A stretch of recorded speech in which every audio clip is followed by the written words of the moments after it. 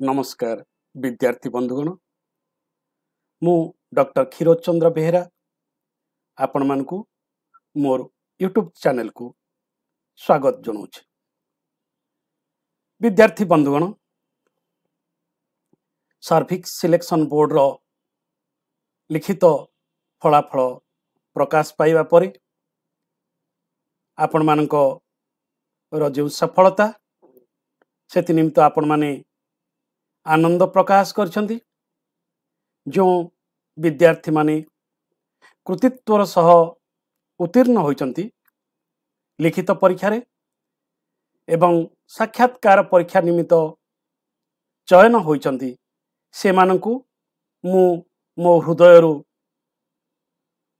ଗଭୀର ଅଭିନନ୍ଦନ ଜଣାଉଛି ସାଧୁବାଦ ଜଣାଉଛି। ଯେଉଁ ବିଦ୍ୟାର୍ଥୀମାନେ ସଫଳ ହୋଇପାରିନାହାନ୍ତି। ତାଙ୍କୁ ମୋର ସମବେଦନା ରହିଛି। ଯାତ୍ରା ଏଇଠି ଶେଷ ହେଇନି।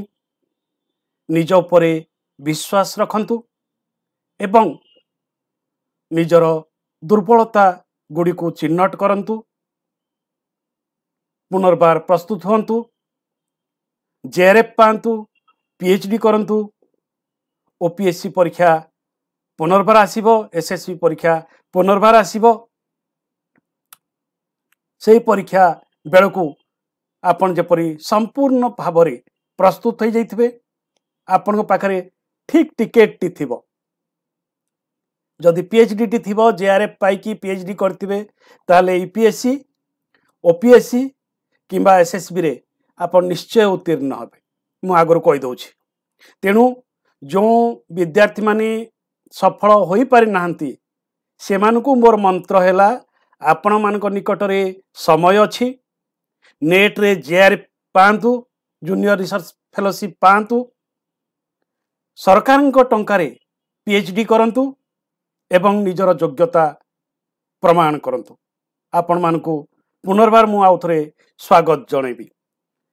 ଯେଉଁ ବିଦ୍ୟାର୍ଥୀମାନେ ଲିଖିତ ପରୀକ୍ଷାରେ ସଫଳ ହୋଇଛନ୍ତି ସାକ୍ଷାତକାର ପରୀକ୍ଷା ନିମିତ୍ତ ଚୟନ ହୋଇଛନ୍ତି। ସେଇ ବିଦ୍ୟାର୍ଥୀମାନଙ୍କ ମଧ୍ୟରୁ ଅନେକ ମୋର ଜଣାଶୁଣା ଚିହ୍ନା ପରିଚୟ। ସେମାନଙ୍କୁ ଆଉ ଥରେ ମୁଁ ଅଭିନନ୍ଦନ ଜଣାଉଛି ସ୍ୱାଗତ କରୁଛି ମୋର ଏଇ ଆଜିର ଭିଡ଼ିଓକୁ। ଆପଣମାନଙ୍କର ପରାମର୍ଶ କ୍ରମେ ଅନୁରୋଧ କ୍ରମେ ସାକ୍ଷାତକାରକୁ କେମିତି ପ୍ରସ୍ତୁତ ହେଇକି ଯିବେ ସାକ୍ଷାତକାର ପରୀକ୍ଷାକୁ କିପରି ପ୍ରସ୍ତୁତ ହୋଇଯିବେ ସେ ସମ୍ପର୍କରେ ମୁଁ ସାମାନ୍ୟ କିଛି ସୂଚନା ଦେବି। ମୋର ଯାହା ଜ୍ଞାନ ସୀମିତ ଜ୍ଞାନ ସେହି ସୀମିତ ଜ୍ଞାନ ମଧ୍ୟରେ ଏବଂ ମୁଁ ଯେଉଁ ଦୁଇ ତିନୋଟି ଅତି ଗୁରୁତ୍ୱପୂର୍ଣ୍ଣ ସାକ୍ଷାତକାର ପରୀକ୍ଷା ଦେଇଥିଲି ତାହାର ଅଭିଜ୍ଞତାକୁ ନେଇ ଏବଂ ଓଡ଼ିଶା ସରକାରଙ୍କ ପ୍ରତିନିଧି ଭାବରେ କେତୋଟି ଓପିଏସ୍ସି ପରୀକ୍ଷାରେ ମୁଁ ସଦସ୍ୟ ଭାବରେ କାର୍ଯ୍ୟ କରିଥିଲି। ସେହି ଅଭିଜ୍ଞତାକୁ ନେଇ ମୁଁ ଆଜିର ଏ ଭିଡ଼ିଓଟି ଆପଣମାନଙ୍କ ପାଇଁ ତିଆରି କରୁଛି। ଆପଣମାନେ କିପରି ସାକ୍ଷାତକାର ପରୀକ୍ଷା ନିମିତ୍ତ ଇଣ୍ଟରଭ୍ୟୁ ନିମିତ୍ତ କିପରି ପ୍ରସ୍ତୁତ ହେବେ? ଆସନ୍ତୁ ବିଦ୍ୟାର୍ଥୀ ବନ୍ଧୁଗଣ ଆଉ ଥରେ ମୁଁ ଆପଣମାନଙ୍କୁ ସ୍ୱାଗତ ଜଣାଉଛି ମୋର ୟୁଟ୍ୟୁବକୁ। ଏବଂ ଯଦି କେହି ବିଦ୍ୟାର୍ଥୀ ବନ୍ଧୁ ମୋର ୟୁଟ୍ୟୁବ୍ ଚ୍ୟାନେଲ ସବସ୍କ୍ରାଇବ୍ କରିନଥାନ୍ତି ତାହେଲେ ଦୟାକରି ସବସ୍କ୍ରାଇବ୍ କରିବାକୁ ମୁଁ ଅନୁରୋଧ କରୁଛି ଏବେ ଆସନ୍ତୁ। ସାକ୍ଷାତକାର ନିମିତ୍ତ ଆପଣ କିପରି ପ୍ରସ୍ତୁତ ହେବେ? ଏକଥା କହିବା ପୂର୍ବରୁ ମୋର ସମସ୍ତ ଶୁଭେଚ୍ଛା ଶୁଭକାମନା ଆପଣମାନଙ୍କ ପାଇଁ। ସାକ୍ଷାତକାର ପରୀକ୍ଷାର ଉଦ୍ଦେଶ୍ୟ କ'ଣ? ଆଭିମୁଖ୍ୟ କ'ଣ ଅନେକ ସମୟରେ ଏ ଉଦ୍ଦେଶ୍ୟ ଓ ଆଭିମୁଖ୍ୟ ନ ଜାଣିଥିବାରୁ ଅନେକ ବିଦ୍ୟାର୍ଥୀ ସାକ୍ଷାତକାର ପରୀକ୍ଷାରେ ସଫଳ ହୋଇପାରିନଥାନ୍ତି। ଯଦିଓ ତାଙ୍କର ସମସ୍ତ କ୍ୟାରିୟର ଫାଷ୍ଟ କ୍ଲାସ୍ ଥାଏ ଲିଖିତ ପରୀକ୍ଷାରେ ସେ ବହୁତ ଭଲ କରିଥାନ୍ତି କିନ୍ତୁ ସାକ୍ଷାତକାର ପରୀକ୍ଷାରେ ଉତ୍ତୀର୍ଣ୍ଣ ହୋଇପାରନ୍ତିନି। ବହୁ ବିଦ୍ୟାର୍ଥୀଙ୍କ କ୍ଷେତ୍ରରେ ଏପରି ଦେଖାଯାଇଛି କାହିଁକି ଏ ଘଟଣା ଘଟେ କାହିଁକି ଏପରି ହୁଏ ଏ ସମ୍ପର୍କରେ ଆପଣ ସାମାନ୍ୟ କିଛି ଜାଣିବା ଉଚିତ ଯଦି ତାହା ଜାଣିନାହାନ୍ତି ତାହେଲେ ହୁଏତ ଆପଣ ବି ସାକ୍ଷାତକାର ପରୀକ୍ଷାରେ ସଫଳ ନ ହୋଇପାରନ୍ତି ପ୍ରଥମ କଥାଟି ହେଉଛି ଦେଖନ୍ତୁ ସାକ୍ଷାତକାର ପରୀକ୍ଷାର ଆଭିମୁଖ୍ୟ ବା ଉଦ୍ଦେଶ୍ୟ କ'ଣ? ଭଲ କି ମନେ ରଖନ୍ତୁ। ଗୋଟିଏ ମାତ୍ର ଉଦ୍ଦେଶ୍ୟ ବା ଆଭିମୁଖ୍ୟ। ଯେଉଁ ବୃତ୍ତି ନିମିତ୍ତ ବିଦ୍ୟାର୍ଥୀଟିଙ୍କୁ ଚୟନ କରାଯାଉଛି ସେହି ବୃତ୍ତି ନିମିତ୍ତ ସେହି ବିଦ୍ୟାର୍ଥୀର କେତେ ଯୋଗ୍ୟତା ରହିଛି? ବୃତ୍ତି ଭିତ୍ତିକ ଯୋଗ୍ୟତା। ତେଣୁ ସେହି ବୃତ୍ତି ନିମିତ୍ତ ଯଦି ବିଦ୍ୟାର୍ଥୀର ଯୋଗ୍ୟତା ନାହିଁ ତାହେଲେ ତାକୁ ଚୟନ କରାଯାଇନଥାଏ ସେ ଯେତେ ଜ୍ଞାନୀ ହେଇଥାଉ ସେ ଯେତେ ଭଲ ପିଲା ହେଇଥାଉ ସେ ଯେତେ ଭଲ କ୍ୟାରିୟର ଥାଉ ଯଦି ସେ ବୃତ୍ତି ନିମିତ୍ତ ଯେଉଁ ପୋଷ୍ଟଟି ନିମିତ୍ତ ସେ ଆବେଦନ କରିଛି ବା ଆପଣମାନେ ଆବେଦନ କରିଛନ୍ତି ସେହି ପୋଷ୍ଟ ବା ସେହି ବୃତ୍ତି ନିମିତ୍ତ ଆପଣ କେତେ ଯୋଗ୍ୟତମ ତାହାକୁ ବିଚାର କରାଯାଏ ସାକ୍ଷାତକାର ପରୀକ୍ଷାରେ। ତେଣୁ ଆପଣ ପାଖରେ ଜ୍ଞାନ ଥାଇପାରେ ଆପଣ ପାଖରେ ବୁଦ୍ଧି ଥାଇପାରେ ଆପଣ ଲିଖିତ ପରୀକ୍ଷାରେ ବହୁତ ମାର୍କ ରଖିଥାଇ ପାରନ୍ତି। କିନ୍ତୁ ଯେତେବେଳେ ସାକ୍ଷାତକାର ପରୀକ୍ଷା କରାଯାଉଛି ସେଠି ଆପଣଙ୍କ ବ୍ୟକ୍ତିତ୍ୱକୁ ଦେଖାଯିବ ଯେ ଯେଉଁ କାର୍ଯ୍ୟଟି ବା ଯେଉଁ ଦାୟିତ୍ୱଟି ଆପଣଙ୍କୁ ଦିଆଯିବ ତାହା କେତେ ସଫଳତାର ସହିତ ସମ୍ପନ୍ନ କରିବାର ଦକ୍ଷତା ଆପଣଙ୍କ ପାଖରେ ରହିଛି। ଏ ହେଉଛି ଦକ୍ଷତାର ମୂଲ୍ୟାଙ୍କନ। ଜ୍ଞାନର ମୂଲ୍ୟାଙ୍କନ ନୁହେଁ। ଦକ୍ଷତା ଆପଣ ଯେଉଁ କାର୍ଯ୍ୟ ପାଇଁ ଆବେଦନ କରିଛନ୍ତି ଯେଉଁ ବୃତ୍ତି ପାଇଁ ଆବେଦନ କରିଛନ୍ତି ସେ ବୃତ୍ତି ନିମିତ୍ତ ସେ ବୃତ୍ତିକୁ ସଫଳତାର ସହିତ ନିର୍ବାହ କରିବା ନିମିତ୍ତ ଆପଣଙ୍କ ପାଖରେ କେତେ ଦକ୍ଷତା ରହିଛି? କେତେ ପ୍ରତିଭା ରହିଛି ତାହାକୁ ଏଥିରେ ଚିହ୍ନଟ କରାଯାଏ ମୌଖିକ ପରୀକ୍ଷାରେ ସାମ୍ନା ସାମ୍ନି ଭେଟ ହେଇ ଏବଂ ଏଇ ଯେଉଁ ସାକ୍ଷାତକାର ପରୀକ୍ଷାରେ ଯଦି ଆପଣ ଲିଖିତ ପରୀକ୍ଷାରେ ବହୁତ ଭଲ ବହୁତ ଖରାପ କରିଛନ୍ତି କିନ୍ତୁ ସାକ୍ଷାତ ପରୀକ୍ଷାରେ ଆପଣ ନିଜକୁ ପ୍ରମାଣିତ କରିଦେଇ ପାରୁଛନ୍ତି ଯେ ଆପଣ ସେ ବୃତ୍ତି ନିମିତ୍ତ ସେ କାର୍ଯ୍ୟ ନିମିତ୍ତ ଅତ୍ୟନ୍ତ ଦକ୍ଷ ତାହେଲେ ବି ଆପଣ ଚୟନ ହେଇଯିବେ। ଲିଖିତ ପରୀକ୍ଷାରେ ବହୁତ ଭଲ କରିଥିବା ବିଦ୍ୟାର୍ଥୀ ମଧ୍ୟ ଚୟନ ହେଇ ନପାରନ୍ତି ତେଣୁ ସାକ୍ଷାତକାର ପରୀକ୍ଷାଟି ଇଣ୍ଟରଭ୍ୟୁଟି ଆପଣମାନଙ୍କ ପାଇଁ ଏକ ସୁବର୍ଣ୍ଣ ସୁଯୋଗ ନିଜର ଦକ୍ଷତା ପ୍ରତିପାଦନ କରିବା ନିମିତ୍ତ ନିଜର ସାମର୍ଥ୍ୟ ପ୍ରକାଶ କରିବା ନିମିତ୍ତ। ତେଣୁ ଇଣ୍ଟରଭ୍ୟୁକୁ ଯାଉଛନ୍ତି ମାନେ ଯଦି ଆପଣ ଇଣ୍ଟରଭ୍ୟୁରେ ସଫଳ ହେଲେ ତାହେଲେ ଆପଣ ନିଶ୍ଚିତ ଭାବରେ ଚୟନ ହେବେ। ଆପଣଙ୍କୁ ଚୟନ କରାଯିବ ସେ କାର୍ଯ୍ୟ ନିମିତ୍ତ। ତେଣୁ ଏ କଥାଟି ପ୍ରଥମେ ଜାଣିବା ପାଇଁ ପଡ଼ିବ। ତାହେଲେ ଆପଣ ଯେଉଁ ସାକ୍ଷାତକାର ପରୀକ୍ଷାଟି ଦେବାକୁ ଯାଉଛନ୍ତି ତାହାର କାର୍ଯ୍ୟ କ'ଣ? ତାର ଦାୟିତ୍ୱ କ'ଣ? ତାର କାର୍ଯ୍ୟ ତାର ଦାୟିତ୍ୱ ହେଉଛି ଅଧ୍ୟାପନା ଶିକ୍ଷାଦାନ। ଓଡ଼ିଆ ସାହିତ୍ୟ ଭାଷା ସଂସ୍କୃତି ସମ୍ପର୍କରେ ଆପଣ ଶିକ୍ଷାଦାନ କରିବେ ଏବଂ ସରକାରୀ ଅନୁଦାନ ପ୍ରାପ୍ତ ମହାବିଦ୍ୟାଳୟ ମାନଙ୍କରେ ତେଣୁ ସେଠି ଦି ପ୍ରକାର ପିଲା ଥିବେ। କିଛି ପିଲା ଉଚ୍ଚ ଶିକ୍ଷିତ ପରିବାରରୁ ଆସିଥିବେ ଆର୍ଥିକ ସ୍ୱଚ୍ଛଳତା ନେଇକରି ଆସିଥିବେ। ଆଉ ଅନେକ ପିଲା ଦରିଦ୍ର ପରିବାରରୁ ବଞ୍ଚିତ ପରିବାରରୁ ଖୁବ କମ୍ ଶିକ୍ଷିତ ପରିବେଶରୁ ଆସିଥିବେ। ସେମାନଙ୍କ ପ୍ରତି ଆପଣଙ୍କର ଦୃଷ୍ଟିକୋଣ କିପରି ହେବ? ଆପଣ ତାଙ୍କୁ ଆଗକୁ ନେଇଯିବା ନିମିତ୍ତ କି ପ୍ରକାର ସହାୟତା ପ୍ରଦାନ କରିପାରିବେ? କି ପ୍ରକାର ସହଯୋଗ କରିପାରିବେ? ସେଥି ନିମିତ୍ତ ଆପଣଙ୍କ ଭିତରେ କ'ଣ ଉତ୍ସାହ ରହିଛି? କ'ଣ ଆଗ୍ରହ ରହିଛି? ଆପଣଙ୍କର ଅନୁଶୀଳନ ଶକ୍ତି କିପରି? ଆପଣଙ୍କର ପ୍ରଜ୍ଞା କିପରି? ଏବଂ ଜଣେ ଆଦର୍ଶ ଅଧ୍ୟାପକ ହେବା ନିମିତ୍ତ ଆପଣଙ୍କର ବ୍ୟକ୍ତିତ୍ୱ କିପରି ତାହା ସାକ୍ଷାତକାର ପରୀକ୍ଷାରେ ମୂଲ୍ୟାଙ୍କନ କରାଯାଇଥାଏ ପରୀକ୍ଷା କରାଯାଇଥାଏ। ଏବଂ ଯିଏ ଏ ସାକ୍ଷାତକାର ନିଅନ୍ତି ସେମାନେ ସମସ୍ତେ ଏ ବିଷୟରେ ଧୁରିଣ ବା ବିଶରା ବିଶାରଦ ହୋଇଥାନ୍ତି। ତାଙ୍କର ଦୀର୍ଘ ଅଭିଜ୍ଞତା ଥାଏ। ତେଣୁ ସେ ଚୟନ କରିବାରେ ପ୍ରାୟତଃ ଭୁଲ ହୁଏ ନାହିଁ ନିର୍ଭୁଲ ହେଇଥାଏ। ତେଣୁ ସାକ୍ଷାତକାର ପରୀକ୍ଷା କ'ଣ ପରୀକ୍ଷା କରାଯାଏ? ମନେ ରଖନ୍ତୁ। ବ୍ୟକ୍ତିତ୍ୱ ଜ୍ଞାନ ଚିନ୍ତନ ନିର୍ଣ୍ଣୟ ନିଜକୁ ଉପସ୍ଥାପନ ଶୈଳୀ ଏବଂ ଆତ୍ମବିଶ୍ୱାସ। ଛଅଟି। ଛଅଟି ଜିନିଷର ପରୀକ୍ଷା କରାଯାଏ ଗୋଟେ ସାକ୍ଷାତକାର ପରୀକ୍ଷାରେ ଭଲ କି ମନେ ରଖନ୍ତୁ ମୁଁ ଆଉ ଥରେ ଏହା କହିଦେଉଛି ଏକରେ ବ୍ୟକ୍ତିତ୍ୱ। ଆପଣଙ୍କର ବ୍ୟକ୍ତିତ୍ୱର ଉଜ୍ଜଳତମ ଦିଗଟି ଆପଣ ଏଇଠି ପ୍ରକାଶ କରିବେ। Brighter side of your personality ତେଣୁ ଏ ହେଉଛି ସବୁଠାରୁ ସୁବର୍ଣ୍ଣ ସୁଯୋଗ। ଏ ବ୍ୟକ୍ତିତ୍ୱ କୋଉଠି ଥାଏ?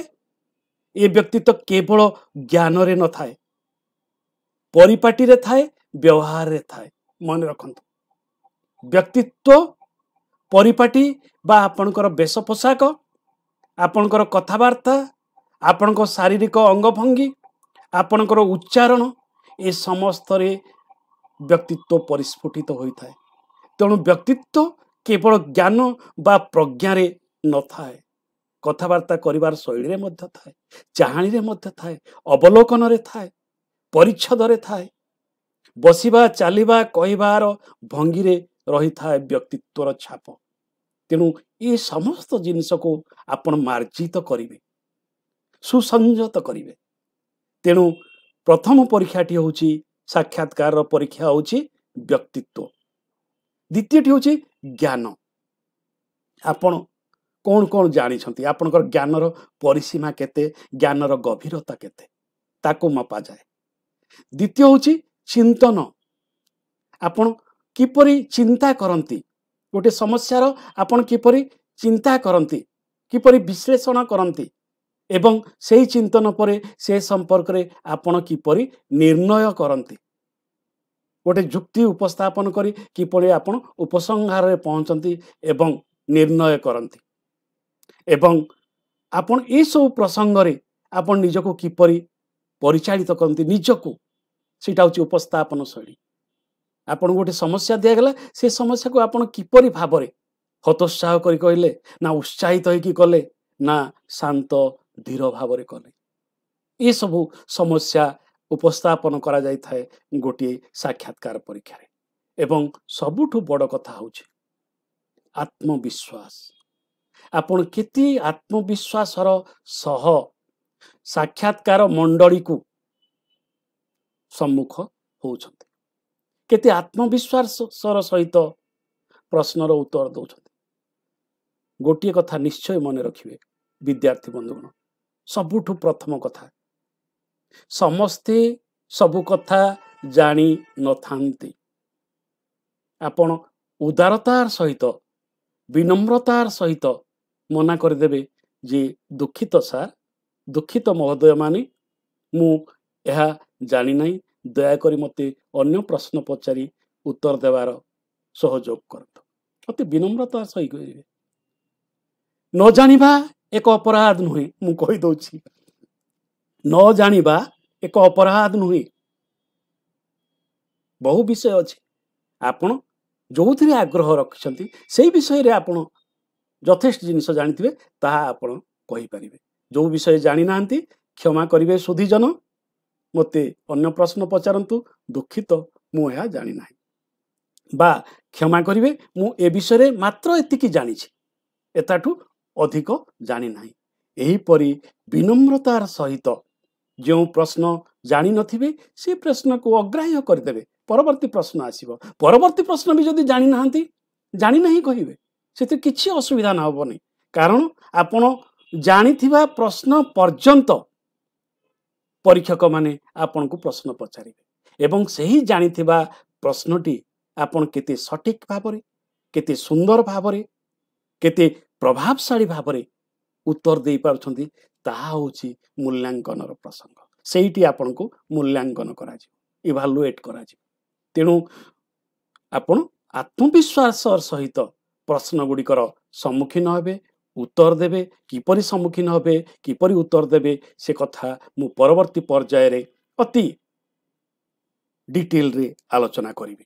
ତେବେ ପ୍ରଥମ କଥା ହେଉଛି ମୁଁ ଯେଉଁ କଥା କହିଲି ଯେ ବ୍ୟକ୍ତିତ୍ୱର ପ୍ରଥମ ଦିଗଟି ହେଉଛି ପରିପାଟି ବେଶ ପୋଷାକ। ଆପଣ କ'ଣ ପିନ୍ଧିକି ଯିବେ ତା ବହୁତ ଗୁରୁତ୍ୱପୂର୍ଣ୍ଣ ବହୁତ ବହୁତ ଗୁରୁତ୍ୱପୂର୍ଣ୍ଣ। S S B OPSC UPSC ପରୀକ୍ଷାରେ ଆପଣ କ'ଣ ପିନ୍ଧିକି ଯିବେ ତାହା ହିଁ କ'ଣ ପିନ୍ଧିଥିବେ କ'ଣ ପିନ୍ଧନ୍ତି ତାହା ହିଁ ବ୍ୟକ୍ତିତ୍ୱର ପରିପ୍ରକାଶ କରିଥାଏ ଚିନ୍ତନର ପରିପ୍ରକାଶ କରିଥାଏ ରୁଚିଶୀଳତାର ପରିପ୍ରକାଶ କରିଥାଏ ଆପଣ କ'ଣ ପିନ୍ଧିବେ କ'ଣ ପିନ୍ଧନ୍ତି ତାହା ହିଁ ଆପଣଙ୍କର ବ୍ୟକ୍ତିତ୍ୱର ଚିହ୍ନ ତେଣୁ କ'ଣ ପିନ୍ଧିବେ କ'ଣ ପିନ୍ଧିବେ ନାହିଁ ମୁଁ ଆଗ କହିଦେଉଛି। ପ୍ରଥମତଃ ଏକରେ ନୂଆ ପୋଷାକ ପିନ୍ଧି ଆଦୌ ଯିବେ ନାହିଁ। ନୂଆ ପିନ୍ଧିବେ ନାହିଁ। ଦ୍ୱିତୀୟରେ ଉଜ୍ଜଳ ପୋଷାକ ପିନ୍ଧିବେ ନାହିଁ। ଡାଜଲିଂ କରୁଥିବା ପୋଷାକ ବା ସେଇ ରଙ୍ଗର ପୋଷାକ ଆଦୌ ପିନ୍ଧିବେ ନାହିଁ। କଳା ପୋଷାକ ପିଙ୍କ ରେଡ୍ ୟେଲୋ ଫ୍ଲୋରୋସେଣ୍ଟ ଆଦି ପୋଷାକକୁ ଆପଣ ଅଗ୍ରାହ୍ୟ କରିଦେବେ। ଅତି ସାଧାରଣ ପୋଷାକ ପିନ୍ଧିବେ। ହାଲୁକା ରଙ୍ଗର ପୋଷାକ ପିନ୍ଧିବେ। ଏବଂ ସବୁଠୁ ବଡ଼ କଥା ହେଉଛି ମୁଣ୍ଡ ବାଳକୁ ସଯତ୍ନେ କୁଣ୍ଡେଇବେ। ଅତ୍ୟଧିକ ତୈଳାକ୍ତ ମଧ୍ୟ କରିବେ ନାହିଁ। ତେଣୁ ମୁଣ୍ଡ ବାଳଠୁ ଆରମ୍ଭ କରି ଦେହର ପୋଷାକ ପର୍ଯ୍ୟନ୍ତ ମୁଖମଣ୍ଡଳ ପର୍ଯ୍ୟନ୍ତ ଆପଣ ଉଦ୍ଭାସିତ ହେବେ ଶାନ୍ତ ଦେଖାଯିବେ ଧୀର ଦେଖାଯିବେ ନମ୍ର ଦେଖାଯିବେ କମନୀୟ ଦେଖାଯିବେ। ଆପଣ କିପରି କମନୀୟ ଦେଖାଯିବେ ତାହାକୁ ଆଗରୁ ଆପଣ ଆଇନା ସମ୍ମୁଖରେ ବେଶ ପୋଷାକ ପିନ୍ଧି ପ୍ରସ୍ତୁତ ହେବେ। ପୂର୍ବରୁ ଦେଖିବେ ଯେ ଆପଣଙ୍କର ମୁଖମଣ୍ଡଳ ଶରୀରକୁ କେଉଁ ରଙ୍ଗର ପୋଷାକ ଠିକ୍ ମାନୁଛି? ଆପଣ ଜଣେ ବିନୟୀ ଜଣେ ନମ୍ର ଜଣେ ପ୍ରଜ୍ଞାବାନ ଯୁବକ ଭାବରେ ବା ଯୁବତୀ ଭାବରେ ଦେଖାଯାଉଛନ୍ତି ଏ କଥା ମନେ ରଖନ୍ତୁ। ଗୋଟେ ଛୋଟିଆ କଥାଟିଏ କହିବି। ବିଦ୍ୟାର୍ଥୀ ବନ୍ଧୁଗଣ ମୋର ତ ବହୁତ ଛାତ୍ରଛାତ୍ରୀ ବହୁ ସ୍ଥାନରେ ପଦବୀରେ ଅଛନ୍ତି। ଗତ ଏସ୍ ବି ପରୀକ୍ଷାରେ କାହିଁକି ମୁଁ ଏ ପିନ୍ଧିବା କଥା କହିଲି ମୁଁ ଟିକେ ଗୋଟିଏ ଘଟଣାଟିଏ କହିଦେଉଛି।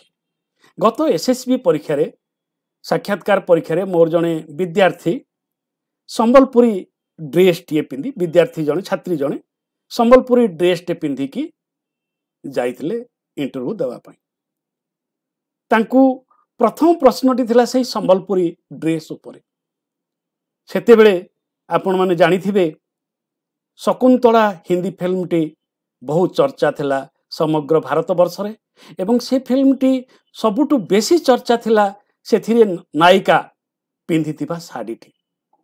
କଳା ରଙ୍ଗର ସମ୍ବଲପୁରୀ ଶାଢ଼ୀ ଉପରେ ଗଣିତର ବିଭିନ୍ନ ଚିହ୍ନ ଗୁଡ଼ିକ ପ୍ରଲେପିତ ହୋଇଥିଲା।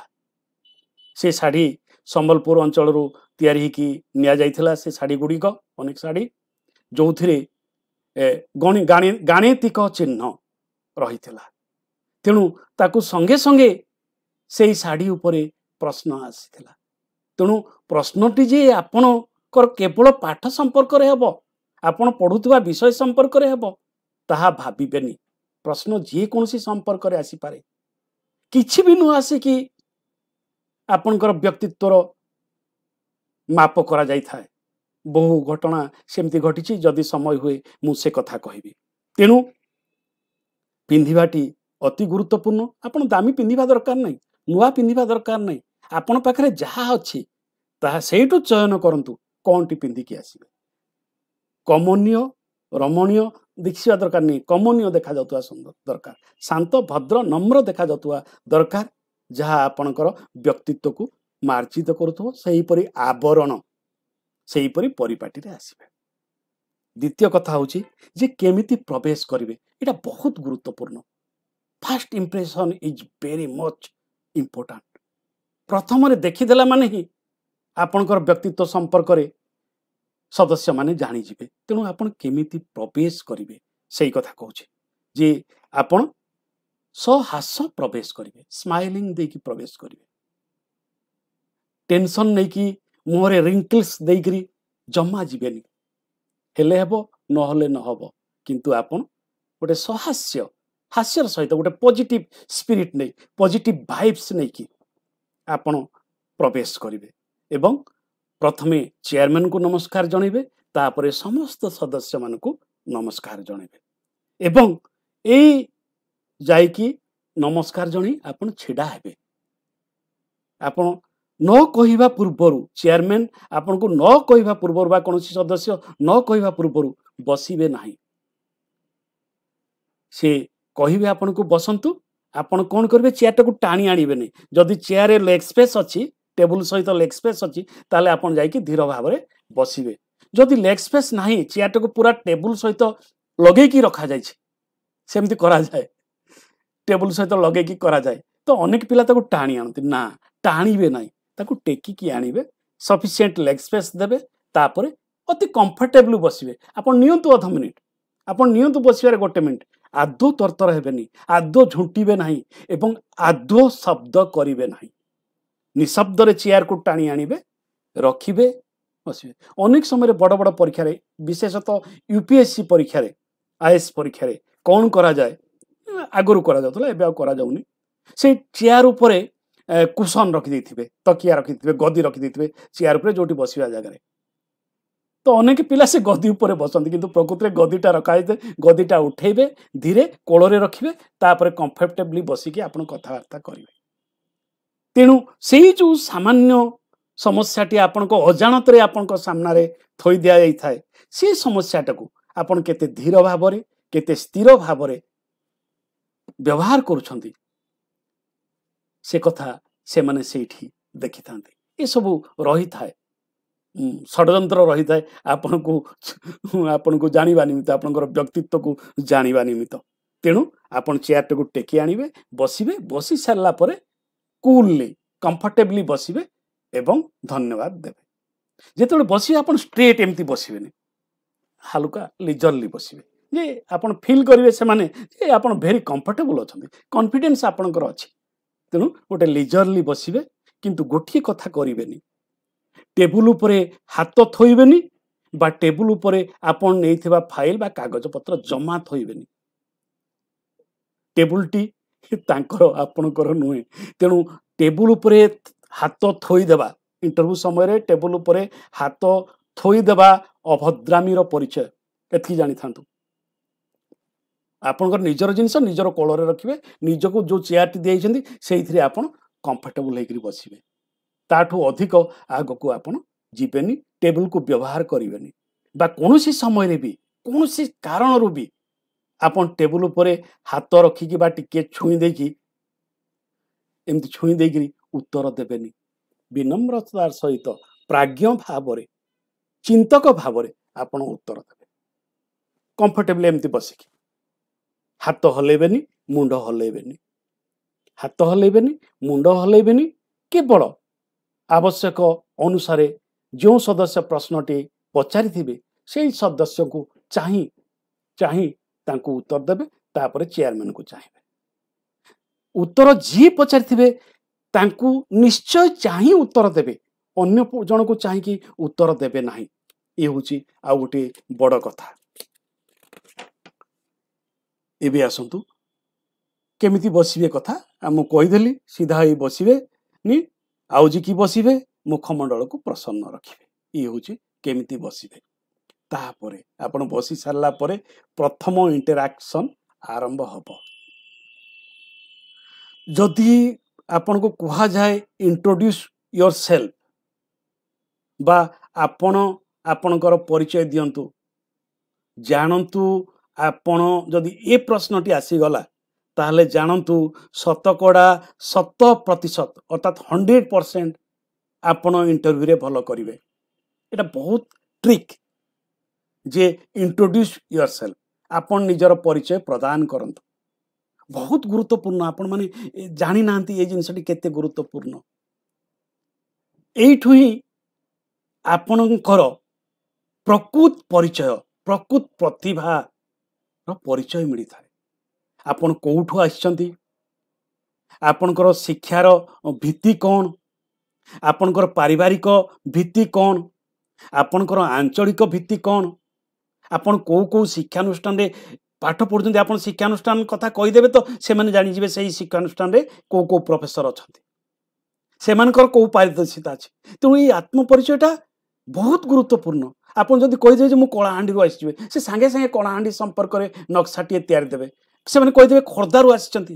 ତାହେଲେ ସେମାନେ ଜାଣିଯିବେ ଯେ ଖୋର୍ଦ୍ଧାର କ'ଣ? ପୁରୀରୁ ଆସିଛି ବାଲେଶ୍ୱରରୁ ଆସିଛି ବାରିପଦାରୁ ଆସିଛି ସୁନ୍ଦରଗଡ଼ରୁ ଆସିଛି ବଲାଙ୍ଗୀରରୁ ଆସିଛି ଗଜପତିରୁ ଆସିଛି। ସୁନାବେଡ଼ାରୁ ଆସିଛି ସେପଟରେ ହେଉଛି ନୂଆପଡ଼ାରୁ ଆସିଛି ତ ଆପଣ ଯୋଉ ସ୍ଥାନରୁ ଆସୁଛନ୍ତି ସେ ସ୍ଥାନର ପ୍ରତିନିଧି ଭାବରେ ଆସୁଛନ୍ତି। ତାର ପରମ୍ପରା ତାର ଐତିହ୍ୟ ତାର ପୁରାତତ୍ଵ। ବଲାଙ୍ଗୀରରୁ ଆସିଲେ ତ ଗୁଡ଼ହାଣ୍ଡି କଥା ନିଶ୍ଚୟ ପଚାରିବେ। ନୂଆପଡ଼ାରୁ ଆସିଲେ ତ ନିଶ୍ଚିତ ଭାବରେ ତାର ଭାଷିକ ସମସ୍ୟା କଥା ନିଶ୍ଚୟ ପଚାରିବେ। ତେଣୁ ପ୍ରତ୍ୟେକ ଅଞ୍ଚଳ ପାଇଁ କିଛି ପ୍ରଶ୍ନ ଆଗରୁ ରହିଥାଏ ସେଥିପାଇଁ ଏହା ବହୁତ ଗୁରୁତ୍ୱପୂର୍ଣ୍ଣ।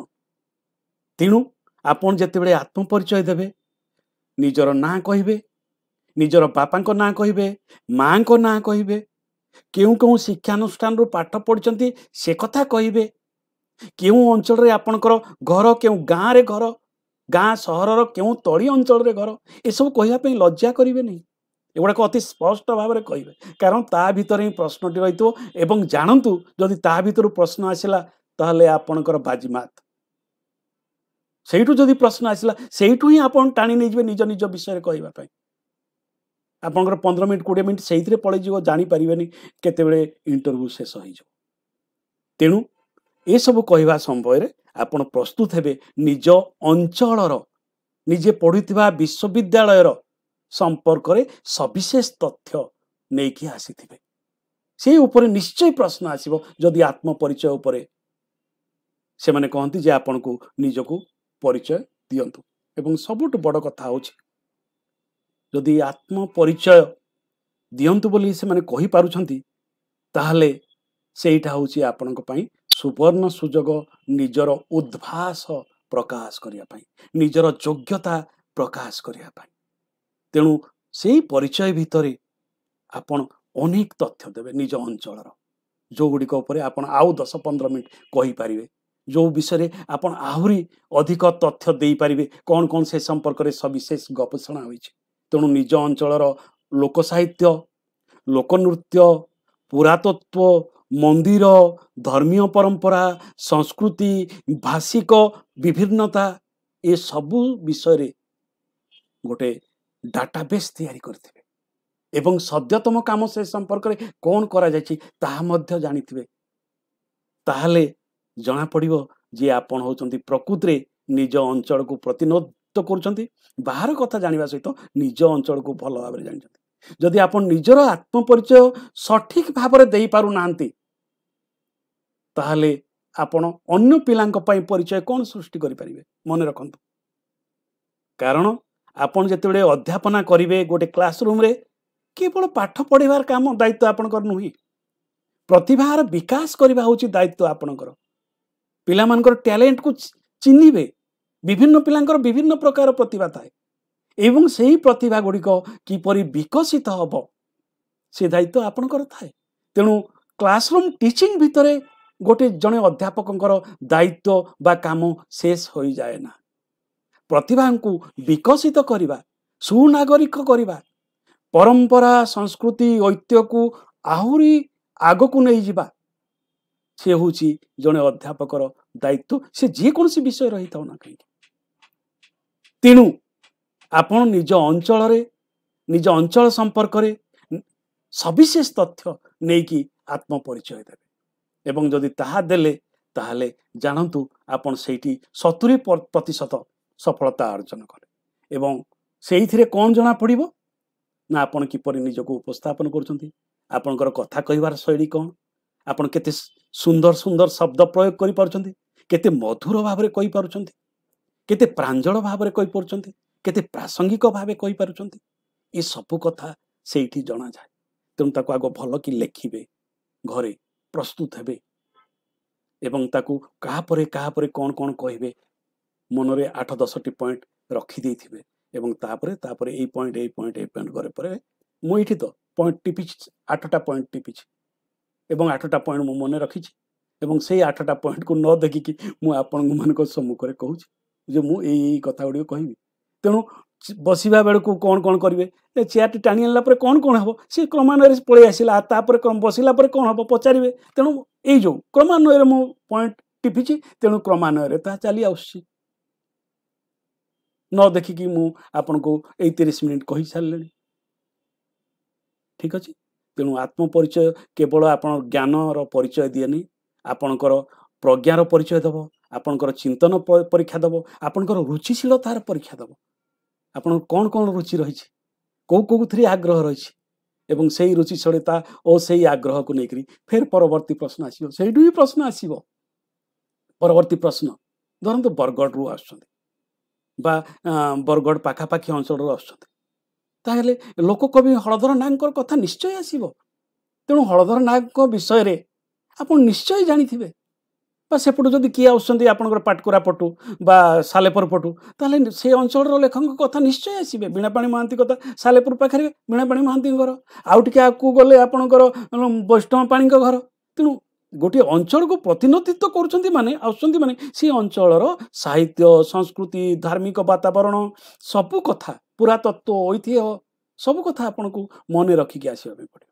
ମନେ ରଖିବେ ମନେ ରଖନ୍ତୁ। ତେଣୁ ଆତ୍ମ ପରିଚୟ ହେଉଛି ଏକ ଗୁରୁତ୍ୱପୂର୍ଣ୍ଣ ଅଂଶ ସାକ୍ଷାତକାରର ଯେଉଁଥିରେ ଆପଣ ପରୀକ୍ଷକମାନଙ୍କୁ ଇମ୍ପ୍ରେସ୍ କରିପାରିବେ ପ୍ରଭାବିତ କରିପାରିବେ।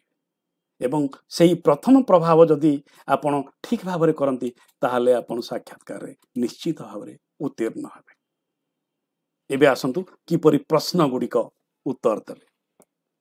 ଦେଖନ୍ତୁ ଅନେକ ସମୟରେ ସଦସ୍ୟମାନଙ୍କର ରୁଚି ଅନୁସାରେ ମଧ୍ୟ ପ୍ରଶ୍ନ ଆସେ। ତେଣୁ ଜଣେ ଭାଷାବିଦ୍ ଅଛନ୍ତି ତେଣୁ ଭାଷା ସମ୍ପର୍କରେ ପ୍ରଶ୍ନ ପଚାରିବେ। ଜଣେ ଧର୍ମ ସଂସ୍କୃତିରେ ଗବେଷଣା କରିଛନ୍ତି ଶ୍ରୀ ଜଗନ୍ନାଥ ଉପରେ ଗବେଷଣା କରନ୍ତି ସେ ଜଗନ୍ନାଥ ଉପରେ ପଚାରିବେ। ତେଣୁ ବିଭିନ୍ନ ବିଷୟରେ ପ୍ରଶ୍ନ ଆସିବ। ଆପଣଙ୍କର କେଉଁଥିରେ ବିଶେଷ ଦକ୍ଷତା ଅଛି ସେ ପ୍ରଶ୍ନ ଆସିବ। ତାଙ୍କର ଯେଉଁଥିରେ ବିଶେଷ ଆଗ୍ରହ ଅଛି ସେ ସମ୍ପର୍କରେ ପ୍ରଶ୍ନ ଆସିବ। ତ ସବୁଠୁ ଟିକେ ମୁଁ ଯାହା କରିଥିଲି ମୋର ୟୁ ପି ଏସ୍ ସି ପରୀକ୍ଷା ସମୟରେ ମୁଁ ଯେତେବେଳେ ଅଧ୍ୟାପକ ପଦ ପାଇଁ U P S O P S C ପରୀକ୍ଷା ଦେଲି ଆମର ଓଡ଼ିଶା ପବ୍ଲିକ୍ ସର୍ଭିସ୍ କମିଶନ ପରୀକ୍ଷା ଦେଲି ଆମ ସମୟରେ ଦୁଇ ସ୍ଥାନରେ ଭାଇବା ହେଉଥିଲା। ମୁଁ ସେତେବେଳେ ସରକାରୀ ମହାବିଦ୍ୟାଳୟ ସୁନ୍ଦରଗଡ଼ରେ ଥାଏ ସମ୍ବଲପୁରରେ ଭାଇବା ହେଉଥାଏ ଏବଂ କଟକରେ ଭାଇବା ହେଉଥାଏ। ତ ମୁଁ ସମ୍ବଲପୁରରେ ଦେଇପାରିଥାନ୍ତି କିନ୍ତୁ ମୁଁ କହିଲି ନା ମୁଁ ସବୁଠୁ ଭଲ ବୋର୍ଡ଼କୁ ସମ୍ମୁଖ କରିବି ସମ୍ମୁଖୀନ କରିବି ତେଣୁ ମୁଁ କଟକରେ ପରୀକ୍ଷା ଦେବି ସମ୍ବଲପୁରରେ ଦେବିନି ଯଦିଓ ମୁଁ ସୁନ୍ଦରଗଡ଼ ସରକାରୀ ମହାବିଦ୍ୟାଳୟରେ ଅଧ୍ୟାପକ ଥାଏ କିନ୍ତୁ ସମ୍ବଲପୁରରେ ଯେତେ ଦିନ ସାକ୍ଷାତକାର ପରୀକ୍ଷା ହେଇଥିଲା ସବୁ ସାକ୍ଷାତକାର ପରୀକ୍ଷା ଦିନ ମୁଁ ଆସିକି ବସୁଥିଲି ବାହାରେ ଚୁପଚାପ ବସୁଥିଲି କାହାକୁ ବି କିଛି କହୁନଥିଲି ସେମାନେ ବସୁଥିଲେ ପ୍ରସ୍ତୁତ ହେଉଥିଲେ ତାପରେ ଯିଏ ପରୀକ୍ଷା ଦେଇକି ଆସିଲା ସିଏ କହୁଥିଲେ ପଚାରୁଥିଲେ ଅନ୍ୟମାନେ ମୋର ପଚାରିବା ଦରକାର ନୁହେଁ ମୁଁ ଚୁପଚାପ ବସୁଥିଲି ଅନ୍ୟମାନେ ପଚାରୁଥିଲେ କ'ଣ ପଚାରିଲେ କ'ଣ ନାହିଁ? ଏସବୁ କଥା ସେ ଆଲୋଚନା ହେଉଥିଲେ। ସେଇଠୁ ମୁଁ ଗୋଟେ ମୋର ମନରେ ଗୋଟେ ଆଇଡ଼ିଆ ଆସିଗଲା ଯେ ଏଇ ପ୍ରକାର ପ୍ରଶ୍ନ ସବୁ ଆସୁଛି। ତେଣୁ ମୁଁ ମୋର ମୌଖିକ ପରୀକ୍ଷା ନିମିତ୍ତ ସାକ୍ଷାତକାର ପରୀକ୍ଷା ନିମିତ୍ତ ମୁଁ ଏଇ ଏଇ ଜିନିଷ ଗୁଡ଼ିକ ପ୍ରସ୍ତୁତ ହେବି। ତେଣୁ ମୁଁ ସାକ୍ଷାତକାର ପାଖ ପିଲାମାନଙ୍କ ପାଖରେ ବସୁଥିଲି। ତାପରେ ରାତିରେ ଯାଇକି ଯେଉଁ ଜିନିଷ ଗୁଡ଼ିକ ମୋର ସନ୍ଦେହ ଜାତ ହେଉଥିଲା ମୁଁ ପୁନର୍ବାର ପ୍ରସ୍ତୁତ ହେଉଥିଲି। ସେମିତି କଟକରେ ମୋର ଯେଉଁଦିନ ସାକ୍ଷାତକାର ଥିଲା ତାର ପୂର୍ବରୁ ଯେତେ ଦିନ ସାକ୍ଷାତକାର ହେଇଥିଲା ସବୁଦିନ ମୁଁ ଯାଉଥିଲି ଏବଂ ସେମିତି ଚୁପଚାପ ବସୁଥିଲି ଏବଂ ଶୁଣୁଥିଲି ଏବଂ ସେଇ ଅନୁସାରେ ନିଜକୁ ପ୍ରସ୍ତୁତ କରୁଥିଲି। ତେଣୁ ଯଦି ଆପଣମାନଙ୍କ ପାଖରେ ସେପରି ସୁବିଧା ଅଛି ସୁଯୋଗ ଅଛି ତାହେଲେ ନିଶ୍ଚିତ ଭାବରେ ସେ ସୁଯୋଗକୁ ବ୍ୟବହାର କରିବେ। ପୂର୍ବରୁ ଆସିବେ କାହାକୁ କହିବେନି? ଆସିବେ ଚୁପଚାପ ବସିବେ କ'ଣ କଥାବାର୍ତ୍ତା ହେଉଛନ୍ତି କ'ଣ ପ୍ରଶ୍ନ ଆସୁଛି କିପରି ଉତ୍ତର ଦିଆଯାଉଛି ସେସବୁ ଜାଣିବେ ତାହେଲେ କ'ଣ ହେବ କି? ଆପଣ ଗୋଟେ ଆତ୍ମବିଶ୍ୱାସ ଫେରି ପାଇବେ। ଆଉ ପ୍ରସ୍ତୁତି ପାଇଁ ମଧ୍ୟ ଆପଣ ମାର୍ଗଟିଏ ପାଇଯିବେ। କେଉଁମାନେ ସଦସ୍ୟ ଆସୁଛନ୍ତି କେଉଁ ପ୍ରକାର ପ୍ରଶ୍ନ ଆସୁଛି ତେଣୁ ତାର ଉତ୍ତର ଆପଣ ସଫଳତାର ସହିତ ଦେଇପାରିବେ। ମନେ ରଖନ୍ତୁ ମୁଁ ଆଗରୁ ମଧ୍ୟ କହିଥିଲି ଆପଣ ସବୁ କିଛି ଜାଣିଥିବା ନିହାତି ନିର୍ଦ୍ଦିଷ୍ଟ ନୁହେଁ। ନ ଜାଣିବା ଏକ ଅପରାଧ ନୁହେଁ। କିନ୍ତୁ ମିଛ କହିବା ଏକ ଅପରାଧ। ନ ଜାଣିକି ଯଦି ଆପଣ ଉତ୍ତର ଦେଇଦେଲେ ସେଇଠି ଗଲା। ଏ ପରୀକ୍ଷାରେ ବି ସେଇଆ ହେଇଛି। ବହୁତ ପିଲା ବହୁତ ଭଲ ପିଲା ନେଗେଟିଭ୍ ମାର୍କରେ କଟି ଯାଇଛନ୍ତି। ମୁଁ ପିଲାମାନଙ୍କୁ ବାରମ୍ବାର କହୁଥିଲି ଯଦି ଜାଣିନାହଁ ଦେବନି। ଯଦି ଜାଣିଛ ଦେବ। ତେଣୁ ଆପଣ ଭୁଲରେ ବି ସାକ୍ଷାତକାର ପରୀକ୍ଷାରେ ବ୍ଲପ୍ ମାରିବେନି।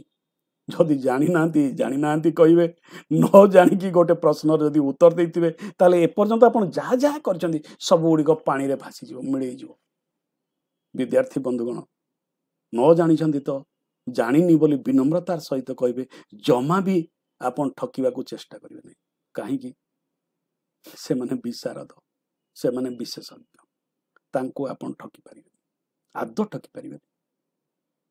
ତେଣୁ ବିନମ୍ରତାର ସହିତ ମାନିଯିବେ ଯେ ମୁଁ ଜାଣିନି କ୍ଷମା କରିବେ ଦୟାକରି ମୋତେ ଆଉ କ'ଣ କିଛି ପଚାରନ୍ତୁ। ତେଣୁ ଯେପର୍ଯ୍ୟନ୍ତ ଆପଣ ଜାଣିନାହାନ୍ତି ସେ ପର୍ଯ୍ୟନ୍ତ ଆପଣ କହି ଚାଲନ୍ତୁ ଯେ କ୍ଷମା କରିବେ ମୁଁ ଜାଣିନି ଆଉ କିଛି ଯଦି ପଚାରିବାର ଅଛି ଦୟାକରି ପଚାରନ୍ତୁ ମୁଁ ଚେଷ୍ଟା କରିବି ଉତ୍ତର ଦେବା ପାଇଁ। ନେକ୍ସଟ କଥା ହେଉଛି ବହୁତ ଗୁରୁତ୍ୱପୂର୍ଣ୍ଣ ମନେ ରଖନ୍ତୁ।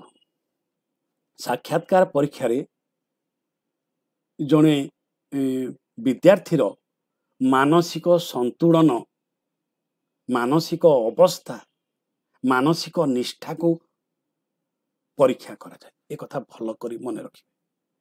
ତେଣୁ ହୁଏତ ଜାଣି ଜାଣି ଭୁଲ ପ୍ରଶ୍ନ ମଧ୍ୟ ଆପଣଙ୍କୁ ପଚରା ଯାଇଥାଇପାରେ ଆପଣ ଆଦୌ ହସିବେନି। ଆଦୌ ମୁଖ ଭଙ୍ଗି କରିବେନି। ଯଦି ଭୁଲ ପ୍ରଶ୍ନଟି ଆସିଥାଏ ତାହେଲେ କ୍ଷମା କରିବେ। ସାର୍ ଏ ପ୍ରଶ୍ନଟି ଏଇଆ ବା ଏହା ଏହିପରି ଘଟିଛି। ମୋ ମତରେ ବୋଲି କହିବେ। ମୋ ମତରେ ଏଟା ଲଗେଇବେ ଏବଂ କ୍ଷମା କରିବେ ଶବ୍ଦଟି ବ୍ୟବହାର କରିବେ। ସେମାନେ ଜାଣି ଜାଣି ଆପଣଙ୍କୁ ଭୁଲ ପ୍ରଶ୍ନ ଦେଇପାରନ୍ତି। ଏବଂ ଜାଣି ଜାଣି ଆପଣଙ୍କୁ ବିରକ୍ତି କରିପାରନ୍ତି। ମୁଁ ମୁଁ ଓ ପି ଏସ୍ ସି ପରୀକ୍ଷାରେ ବସିଛି ସଦସ୍ୟ ହେଇକି ପରୀକ୍ଷକ ହେଇକି ସେମିତି ହେଇଛି। ଯିଏ ଯେତେ ବଡ଼ ଶିକ୍ଷାନୁଷ୍ଠାନରୁ ଆସେ ଧରନ୍ତୁ ସେଥିରେ ଆମେ ମୁଁ ପଲିଟିକାଲ ସାଇନ୍ସରେ ବି ବସିଥିଲି ତ ଜେଏନ୍ୟୁରୁ ବି ପିଲା ଆସିଥିଲେ ଡିୟୁରୁ ବି ପିଲା ଆସିଥିଲେ ଆହ୍ଲାବାଦରୁ ବି ପିଲା ଆସିଥିଲେ ତ ଯିଏ ଯେତେ ବଡ଼ ୟୁନିଭର୍ସିଟିରୁ ଆସେ ତା ପାଇଁ ପ୍ରଶ୍ନଟି ସେତେ ବଡ଼ ଦିଆଯାଏ। ସେତେ ବଡ଼ ଦିଆଯାଏ। ତେଣୁ କାହିଁକି ଅପେକ୍ଷା ରଖାଯାଇଥାଏ ଯେ ଯେହେତୁ ପିଲାଟି ଏତେ ବଡ଼ ବିଶ୍ୱବିଦ୍ୟାଳୟରୁ ଆସୁଛି ତାର ଏଇ ଏଇ ଜ୍ଞାନୀ ଗୁଡ଼ିକ ଥିବ ଏଇ ମୌଳିକ ଜ୍ଞାନ ଗୁଡ଼ିକ ଥିବ ସେ ମୌଳିକ ପ୍ରଶ୍ନ ପଚରାଯାଏ। ତେଣୁ ଆପଣ ଯଦି ଜାଣିନାହାନ୍ତି ଜାଣିନାହାନ୍ତି ଜାଣିଛନ୍ତି ଯଦି ଜାଣିଛନ୍ତି ଭୁଲ ଉତ୍ତର ଦେବେ ନାହିଁ। ଏବଂ କ୍ଷମା କରିବେ ଦୟାକରି ଆଉ ଗୋଟେ ପ୍ରଶ୍ନ ପଚାରନ୍ତୁ ବୋଲି କହିବେ କୌଣସି ସ୍ଥାନରେ ଯୁକ୍ତି କରିବେ ନାହିଁ କେତେବେଳେ ବି ମୁଖଭଙ୍ଗୀ ବିକୃତ କରିବେ ନାହିଁ ବା କେତେବେଳେ ବି ମୁହଁରେ ରିଙ୍କଲ୍ସ ବା ଟେନ୍ସ ପ୍ରକାଶ କରିବେ ନାହିଁ ବା ଅତି ସହଜ ପ୍ରଶ୍ନଟେ ଆସିଲେ ଅତି ଚତୁରତାର ସହିତ ସାହାଯ୍ୟ ଦେବେନି ନା କୁଲଲି ଦେବେ ପ୍ରଶ୍ନର ଉତ୍ତର ଅତି ଚିନ୍ତାଶୀଳ ଭାବରେ ରହି ରହି ନିର୍ଭୁଲ ଭାବରେ ବାକ୍ୟରେ କହିବେ ସୁନ୍ଦର ସୁନ୍ଦର ଶବ୍ଦ ପ୍ରୟୋଗ କରିବେ ହରବଡ଼ ହେବେ ନାହିଁ ଅତି କୁଲଲି କହିବେ। ଯେତେ ସହଜ ପ୍ରଶ୍ନ ଆସିଥାଉ। ଏତେ ହାଲୁକା ପ୍ରଶ୍ନ କ'ଣ ପ୍ରକୃତିରେ ହାଲୁକା ପ୍ରଶ୍ନ ଦେଇକରି ଆପଣଙ୍କର ହାଲୁକାପଣକୁ ପଣକୁ ମପା ଯାଉଥାଇପାରେ। ଗୋଟେ ହାଲୁକା ପ୍ରଶ୍ନରେ ପିଲାଟି କେମିତି ବିହେଭ୍ କରୁଛି ଦେଖିବା। ଆପଣଙ୍କ ବ୍ୟବହାରକୁ ମପା ଯାଉଛି। ହାଲୁକା ପ୍ରଶ୍ନ ଦେଲେ ବି ଆପଣ ଗମ୍ଭୀରତାର ସହିତ ଉତ୍ତର ଦେବେ। ଜମା ହାଲୁକା କରିବେନି। ମୁଣ୍ଡ ଫୁଣ୍ଡ କୌଣସିଟି ହଲେଇବେନି। ଆଖି ମିଠିକା ଜମା ମାରିବେନି। ଟେବୁଲ ଜମା ବାଢ଼େଇବେନି ଯିଏ ପ୍ରଶ୍ନ ପଚାରିଥିବେ ତାଙ୍କୁ ଦେଖିକି ଉତ୍ତର ଦେବେ। ବିରକ୍ତିକର ପ୍ରଶ୍ନ ପଚାରିଥିଲେ ମଧ୍ୟ ଆପଣ ସହାସ୍ୟ ସ୍ମାଇଲିଂ ଫେସ୍ରେ ଉତ୍ତର ଦେଉଥିବେ। କେତେବେଳେ ବିରକ୍ତି ହେବେନି ବିରକ୍ତ ହେବେନି। ଆପଣଙ୍କୁ ବିରକ୍ତ କରାଯିବ? ବିରକ୍ତ ହେବେନି। ବହୁ କ୍ଷେତ୍ରରେ ସେୟା ହେଇଛି ଯେଉଁଠି ବଡ଼ ବଡ଼ ସାକ୍ଷାତକାର ସେଥିରେ ସେମିତି କରାଯାଏ ଇରିଟେଟ୍ କରାଯାଏ। ଗୋଟେ ଯେଉଁ ଆଇଏସ୍ ପରୀକ୍ଷା ଗୁଡ଼ିକରେ ବିଭିନ୍ନ ସମସ୍ୟା ଦିଆଯାଏ। ନିର୍ଣ୍ଣୟ ନିଷ୍ପତ୍ତି କିପରି ଆପଣ ନେଉଛନ୍ତି ଦେଖାଯାଏ।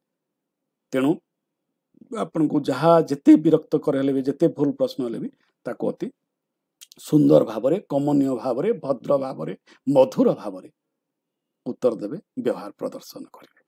ସବୁଠୁ ବଡ଼ କଥା ହେଉଛି ଶାଳୀନତା। ଆପଣ ଯାହା କରିବେ ଶାଳୀନତାର ସହ କରିବେ। ଗୋଟେ ସଂସ୍କୃତି ସମ୍ପନ୍ନ ଗୋଟେ ସୁବିଚାର ସମ୍ପନ୍ନ ସଦାଚାର ସମ୍ପନ୍ନ ବ୍ୟକ୍ତି ଭାବରେ ଯାହା ବ୍ୟବହାରର ଆବଶ୍ୟକତା ରହିଥାଏ ସେଇ ବ୍ୟବହାର କାହିଁକି? ଅଧ୍ୟାପନା ହେଉଛି ସବୁଠୁ ପବିତ୍ରତମ ବୃତ୍ତି। ସେଠି ପ୍ରଜ୍ଞା ଜ୍ଞାନ ବିବେକ ସତ୍ୟ ଧର୍ମ ନ୍ୟାୟ ବିଶ୍ୱାସ ସବୁକିଛି ସେ ବୃତ୍ତି ସହିତ ସଂଯୋଜିତ ହୋଇଥାଏ। ଯାହା ଅନ୍ୟ ବୃତ୍ତି ସହିତ ନାହିଁ। ଅନ୍ୟ ବୃତ୍ତି ସହିତ ଏସବୁ ସଂଯୋଜିତ ହୁଏନି। ଅଧ୍ୟାପନା ସହିତ ଥାଏ ପବିତ୍ରତା ବିଶ୍ୱାସ ସତ୍ୟ ନ୍ୟାୟ ନିଷ୍ଠା ସମୟାନୁବର୍ତ୍ତିତା। ଆପଣଙ୍କୁ ହୁଏତ ଗୋଟେ କ୍ଲାସ୍ ନେବା ପାଇଁ ଆପଣଙ୍କୁ କହିପାରନ୍ତି ଆପଣ ଅତି ଯେମିତି କ୍ଲାସ୍ ନିଅନ୍ତି ସେମିତି ଗୋଟେ କ୍ଲାସ୍ ନେବେ। ସେମାନଙ୍କୁ ଷ୍ଟୁଡେଣ୍ଟ ଭାବରେ ବିହେଭ୍ କରିବେ ଆପଣ ନିଜେ ଟିଚର ହେବେ କ୍ଲାସ୍ଟେ ନେବେ ପଢ଼େଇବେ। ଭୁଲ ହେଲା ଏଇ କଥା ପଚାର ତାଙ୍କୁ ଆପଣ ପ୍ରଶ୍ନ ପଚାରି ପାରନ୍ତି। ଆପଣ ଯେତେବେଳେ କ୍ଲାସ୍ ନେଇପାରନ୍ତି ଆପଣ ମାଟିର ମଣିଷ ଉପରେ ନେଉଛନ୍ତି କାଳିଚରଣ ପାଣିଗ୍ରାକୁ ଆପଣ ଜାଣିଛନ୍ତି? ତାଙ୍କ ଘର କୋଉଠି ଜାଣିଛନ୍ତି? କହିବେ ଏଇଠି ଏଇ ଭୁବନେଶ୍ୱର ପାଖରେ। ସେ ଏଇ ଲେଖିଛନ୍ତି। ଆପଣ ଜାଣିଛନ୍ତି? ସେ ପୁରୀ ମନ୍ଦିର ଲେଖିଛନ୍ତି?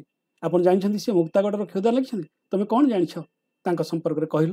ଛାତ୍ର ଭାବରେ ଆପଣ ଶିକ୍ଷକ ଭାବରେ ସେମାନଙ୍କୁ ଛାତ୍ର ଭାବରେ ବ୍ୟବହାର କରିବେ। ଅନେକ ସମୟରେ କ୍ଲାସ୍ ନେବା ପାଇଁ କହନ୍ତି ମୋତେ ତ କୁହାହେଇଥିଲା ମୋ ଓପିଏସ୍ସି ପରୀକ୍ଷାରେ ଗୋଟେ କ୍ଲାସ୍ ନିଅନ୍ତୁ ବୋଲି। ମୁଁ କ୍ଲାସ୍ରେ ପଢ଼ଉଥିଲି ସେତେବେଳେ ଉଁ, ଆପଣଙ୍କର ନୀଳଶୈଳ ଉପନ୍ୟାସ। ମୁଁ କହିଥିଲି ମୋର ଉତ୍ତରେ କହିଥିଲି ଆପଣମାନଙ୍କୁ କେଉଁ ଶ୍ରେଣୀର ଛାତ୍ର ଭାବରେ ଗ୍ରହଣ କରିବି? ଗୋଟେ ଏମ୍ ଆଇ ଏଲ୍ କ୍ଲାସ୍ର ଗୋଟେ ଅପସନାଲ୍ କ୍ଲାସ୍ର ନା ଗୋଟେ ଅନର୍ସ କ୍ଲାସ୍ର ସେମାନେ କହିଥିଲେ ନା ଆମକୁ ଅନର୍ସ କ୍ଲାସ୍ର ଛାତ୍ର ଭାବେ ବ୍ୟବହାର କର। ତ ମୁଁ କହିଲି ସାର୍ ମୁଁ ଅନର୍ସ କ୍ଲାସ୍ରେ ବସିକି କ୍ଲାସ୍ ନିଏ। ଏମ୍ ଆଇ ଏଲ୍ କ୍ଲାସ୍ରେ ଅପସନାଲ୍ କ୍ଲାସ୍ରେ ବେଶୀ ପିଲା ଥାଆନ୍ତି ଛିଡ଼ା ହେଇକି କ୍ଲାସ୍ ନିଏ। କିନ୍ତୁ ଅନର୍ସ କ୍ଲାସ୍ରେ ମୁଁ ବସିକି କ୍ଲାସ୍ ନିଏ। ସତ କହୁଛି ମୁଁ ବସିକି କ୍ଲାସ୍ ନେବି? ନା ହଁ ବସିକି କ୍ଲାସ୍ ନିଅ। କାହିଁକି ମୁଁ ବସିକି କ୍ଲାସ୍ ନିଏ? ନା ପିଲାମାନଙ୍କୁ ପାଖରୁ ଦେଖେ ତାଙ୍କୁ ନୋଟ୍ କରିବା ପାଇଁ କୁହେ ତାଙ୍କର ଅକ୍ଷର ଦେଖେ ତାଙ୍କର ବନାନ ଦେଖେ। କ୍ଲାସ୍ରେ ବସିବା ସମୟରେ ମୁଁ ଏସବୁ କ୍ଲାସ୍ ନେବା ସମୟରେ ମୁଁ ଏଇସବୁ ପରିଶୁଦ୍ଧ କରିଥାଏ ପିଲାମାନଙ୍କ ପାଖରେ ବସେ। ଏ ଖୁସି ହେଇଗଲେ।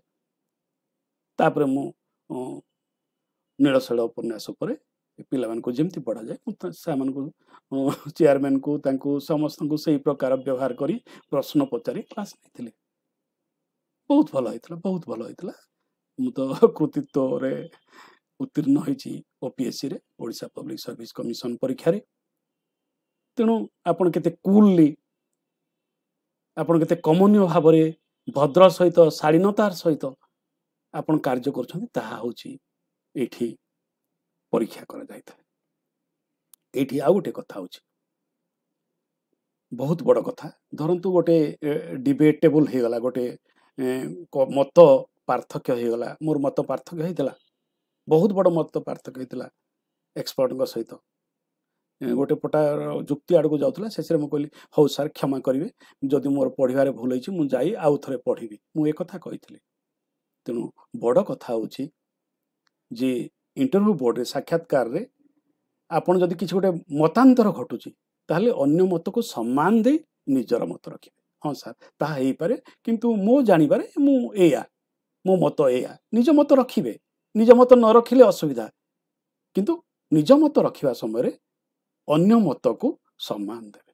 ଆଉ ସବୁଠୁ ବଡ଼ କଥା ହେଉଛି ଯେ ଏଇ ଯେତେବେଳେ ଏ- ଏଇ ମତ ବିନିମୟ ହେବ ବା ମତ ପାର୍ଥକ୍ୟ ଘଟିବ ସେତେବେଳେ ଆପଣ ଗୋଟେ ଉତ୍ତକ୍ତ ହେଇଯିବେ ନାହିଁ। ଝୁଙ୍କିବେ ନାହିଁ। ବେଶୀ ଗୁଡ଼ାଏ ଶାରୀରିକ ଅଙ୍ଗଭଙ୍ଗୀ କରିବେ ନାହିଁ। ଅତି ନମ୍ର ଭାବରେ ଶାଳୀନତାର ସହିତ ମତ ପାର୍ଥକ୍ୟ କରି ଅନ୍ୟ ମତକୁ ସମ୍ମାନ ଦେଇ ନିଜ ମତ ରଖିବେ। ଇଏ ହେଉଛି ବହୁତ ବଡ଼ କଥା। ଏବଂ ଯଦି କୌଣସି ସଦସ୍ୟ କିଛି କହୁଛନ୍ତି ଏଇଟା ହେଉଛି ବହୁତ ଆଉ ଗୋଟେ ଗୁରୁତ୍ୱପୂର୍ଣ୍ଣ ଜିନିଷ।